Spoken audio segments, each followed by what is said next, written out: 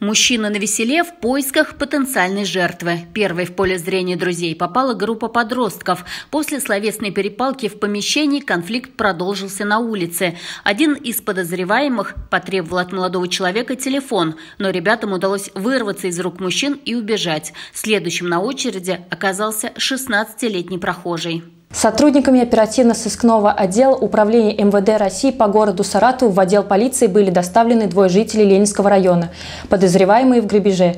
По версии следствия, граждане на проспекте Строителей, угрожая предметом, похожим на пистолет, совершили открытое хищение сотового телефона у несовершеннолетнего.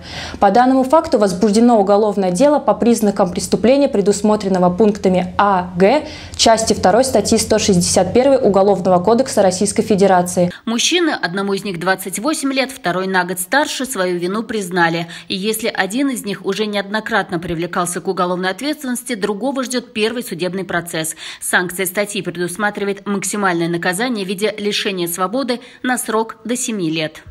За что задержано? Снял телефон. У кого? Парня. Ранее судимый? Судимый. За что? 161. Когда? Три года назад. Что сделал? Тот раз. Украл Что? телефон. В этот раз за что задержан? Ну что ты сделал? Угрожал жизни. Чем? Игрушечным пи- пистолетом. Кому?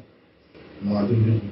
В отношении подозреваемых избрана мера пресечения в виде заключения под стражу. Расследование уголовного дела продолжается. Эллада Абжалимова, Андрей Багаев. Дежурная часть «Саратов».